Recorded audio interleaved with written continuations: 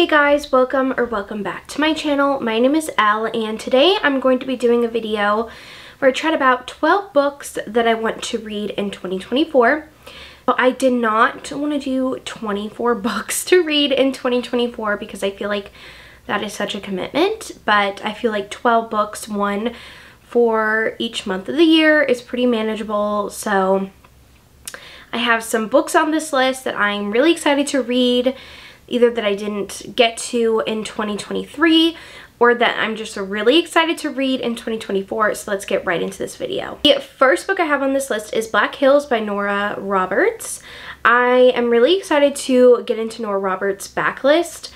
I know that Jess from PSLF Books has been reading a lot of her books lately, and this is one of her favorites. Jess is one of her favorites from Nora Roberts. I don't even know what this is about it says that a summer at his grandparents' South Dakota ranch is not 11-year-old Cooper Sullivan's idea of a good time, but things are a bit more bearable now that he's discovered the neighbor girl, Little Chance, and her homemade batting cage. Even horseback riding isn't as awful as Coop thought it would be. Each year when Coop's annual summer visit, their friendship deepens from innocent games to stolen kisses, but there's one shared experience that will forever haunt them, the terrifying discovery of a hiker's body. As the seasons change and the years roll by, Lil remains steadfast her, to her aspiration of becoming a wildlife biologist and protecting her family land, while Coop struggles with his father's demand that he attend law school and join the family firm. Twelve years after they last walked together hand in hand, fate has brought them back to the Black Hills, when the people and things they hold most dear need them most. Ooh, that sounds really good. So I know that this is like romantic suspense, suspense, and I love romantic suspense, so I'm really excited for this book. Sorry, like the light is just doing things to this book right now. But I am so excited to read this. I love romantic suspense. And I know that Nora Roberts is like the queen of romantic suspense in her books. And so I'm really excited to dive into this one in 2024.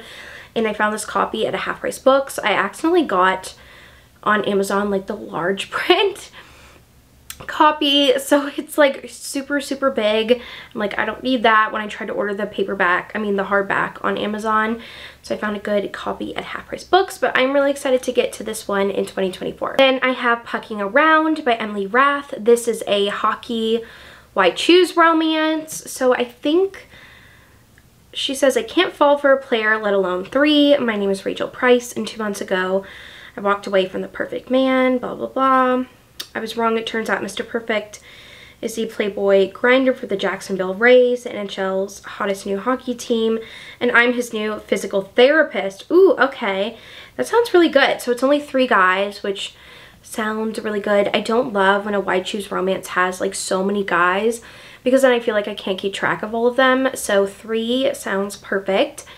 And I know this has been making its rounds on TikTok, but I'm definitely in more of like a sports romance mood right now, so I really am excited to get to this Why Choose Hockey romance. The next romance on this list is Parallel by Elle Rourke. O'Roark.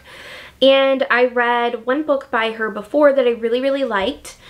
Honestly, I cannot remember what the name of the book is, but it was so good. It was like forbidden, angsty. It was so good. And I know she has this other series that's another really angsty series, so I need to get into her backlist, but this is a book that I've had on my TBR for years now. And this one I've heard is very, very angsty. The heroine and hero have been dreaming about each other for years, but they have never seen each other in real life. They're like, you're just in my dreams. And I think she is engaged, or maybe he is. I can't really remember who is engaged, but one of them like time travels to their time and they see each other and they have so much attraction. And yeah. Oh, okay. She has a power she doesn't understand. He may be the key to unlocking it. One who knows things about him no one else does, blah, blah, blah. So I don't remember which character is engaged, but that doesn't really matter. It's just very angsty. And I love a little like time travel in a romance, like Callia Reed series, the Surviving Trace series. I love that series and it is so good. It's so angsty. That's like one of my favorite series of all time, but I'm really excited to get to this one and hopefully I'll enjoy it. Then I have Love Redesigned by Lauren Asher. This is a new book and a new series that she is coming out with that came out this year. And I think the rest of the series is coming out in 2024. And I think I remember Julian from, um, what was it called? Final Offer. He was like this like architect and I remember really liking his character. And I think, oh, okay, so it's set in Lake Wisteria, which is where Final Offer is, which is this like small town. And I think it might be Second Chance.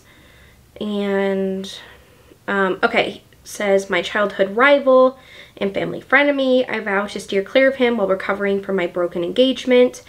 But then the billionaire makes an irresistible offer. Renovate a historic house together and triple our profits. Our temporary truce becomes compromised as we face years worth of denied attraction and mixed emotions. Giving in to our desire is inevitable, but falling in love, that isn't part of the plan. Ooh, this sounds so good. And I'm so happy I got like the Barnes & Noble like embroidered edition and so I'm really excited for this one. I am so excited. It sounds so good. I have Next to You by Hannah Bonam-Young. I have not read a book yet from this author and this book has been on my TBR for a year now and I really want to get to it. I think they, it's like they have to work together on like this bus together or I don't really remember. I don't remember what this book is about, but it says Lane is in the middle of an identity crisis. Her friends are all partnered up. Her career is leading nowhere. And simply put, she's not happy. Blah, blah, blah. So it's friends to lovers. And okay, so it's friends to lovers and they like help each other out in the bedroom. And they're working on like renovating a bus together. So this sounds really good. He's a mechanic. And yeah, I've heard really good things about this author and I really need to get to this series. I have The Worst Kept Secret by QB Tyler. This is her latest release, or no, she has a new release coming out that just came out, but this is a forbidden age gap romance, of course, and I think this is um, best friend's dad romance, and I think they had like a kiss before in the past. I'm not really sure, but I'm really excited to get to this one. I love this cover. It's just so pretty. And I love QB Tyler, so I really need to get to this release from her. Then I have Rewrite Our Story by Kat Singleton. This is a small town romance. I think a second chance as well. Like, I think they were together. Um, and he, he was her best friend's older brother. And I think, yeah, so they were second chance, small town romance. This sounds really good. And I really like the cover. It's really, really pretty. So I'm excited for this one. Um, I need to Kat Singleton before May because I'm going to be going to the Wild and Windy event, which I'm so excited about in Chicago and she's going to be there. So I need to read this beforehand, but I'm really excited for this one and to dive into Kat Singleton's books. Okay, so the next book I have is Salt Kiss by Sarah Simone. This is a I think polyamorous romance and this is the first book in the trilogy but I think at first it's only between the two guys and then the girl comes in later but I honestly don't know what this book is about. I think it is why choose no not why choose it's polyamorous and um, I've heard it's kind of like forbidden and people have been really really enjoying this one so I'm excited to read that. And then, oh, okay, and then the next book I have is Among the Heather by Samantha Young. This is the second book in this like Highlander series she has. I read the first book in December, which is Beyond the Thistles, and I loved that book. It was so, so good. It's like Scottish Highlands, and that book was amazing, and I think this is the second book in the series. And I think it has to do with maybe the owner of like this manor where the whole like kind of series revolves around and this actor that is having to run away from like the press and kind of find solitude in the manor. And so far the series, the first book had a lot of romantic suspense in it, so hopefully this one will too. But I am excited to read this book and I want to listen to it on audio because I read the first one on audio and I love the narrator. He had like a Scottish accent and I loved it. So I'm really excited for this one. And I have Diana Quincy's newest release, which is The Duke Gets Desperate. This is a new historical romance from her, and I think it's Hate to Love, and it's a new series as well. And I think the heroine and hero both get like custody of this like castle thing and I think they like fight over who like actually has custody of it but I've heard it's really spicy um, for Diana Quincy and really really good so I'm excited to read that one. Then I have Something Wild and Wonderful by Anita Kelly. This is a MM road trip romance and I'm really excited for this one. I've heard it's really emotional and just really really good and I did not get to it in 2023 so I need to read it in 2024. And the last book is The Rest of the Story by Tal Bauer. This is a MM hockey romance and I think they both have to join like a team where one of them was like on a rival team maybe. I don't really remember but I've heard it's very emotional and angsty and I'm really excited to get into more hockey romances in 2024 because I'm just in the mood for hockey romances specifically. But that is the end of this video. I hope you enjoyed hearing me chat about some books that I am really dying to read in 2024.